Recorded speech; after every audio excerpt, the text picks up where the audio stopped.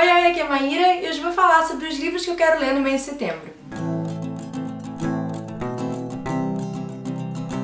Bom, setembro agora é mês da Bienal e eu vou passar quase o mês inteiro lá. Eu perdi essa primeira semana aí, não deu pra ir no encontro dos booktubers. Mas eu tô indo pra lá agora no final dessa semana e eu fico lá até o fim do mês porque eu tenho família, então tem que visitar todo mundo. Tem Bienal pra ir, tem Rock in Rio, tem um monte de coisa. Então dá pra levar um monte de livro na mala. Pode ser que eu comprei uma coisa ou outra lá na Bienal também. Não tem muitos livros que eu quero comprar, mas eu selecionei alguns aqui pra mostrar pra vocês. O primeiro é o Infanto Juvenil, que eu estou atrasada desde o mês passado pra ler, que é o quinto livro das Aventuras em série. Se eu conseguir terminar esse aqui antes de viajar, eu já pego o sexto e levo pra lá também. Eu vou levar também Os Garotos Corvos, da Meg Stiefvater. Esse aqui estão me falando maravilhas, que é muito bom, que a escrita dela é incrível. Então eu tô super curiosa. Eu comprei ele, sei lá, em julho, não comecei ainda, então vou começar agora. E outro que eu quero ler muito desde que eu ganhei, mas eu tinha vários outros na fila na frente, é o Golem o Gênio, da Helen Wecker. Esse aqui eu recebi da Dark Side.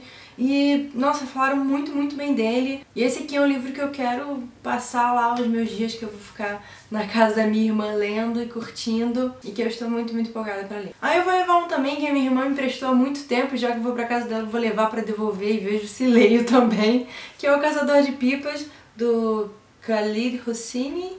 Hosseini. Esse aqui é clássico moderno, né? Enfim, todo mundo já leu esse livro, ou já falou sobre esse livro e eu não li ainda, e já falaram que eu vou chorar, então vai ser bom estar perto da família nesse momento. E já que não dá pra levar o Sandman porque é muito pesado, eu comprei recentemente essa HQ aqui, o Black Orchid. Eu vi a Tati Feltrin falando sobre ele no canal dela, e vai também entrar nesse meu projeto aí pra ler o Neil Gaiman e falar sobre ele em novembro. O Grandes Expectativas eu não sei se vai dar pra terminar é, antes de ir, não falta muito, falta aqui umas 100 páginas, cento e poucas páginas, eu tô ouvindo ele em audiobook também pra ver se me ajuda a andar, porque você lê, você lê, você, você lê, você lê e você não leu nada. então eu vou tentar dar uma andada com ele aqui, pelo menos, com audiobook. Eu não sei como é que vai ser essa semana agora antes de viajar.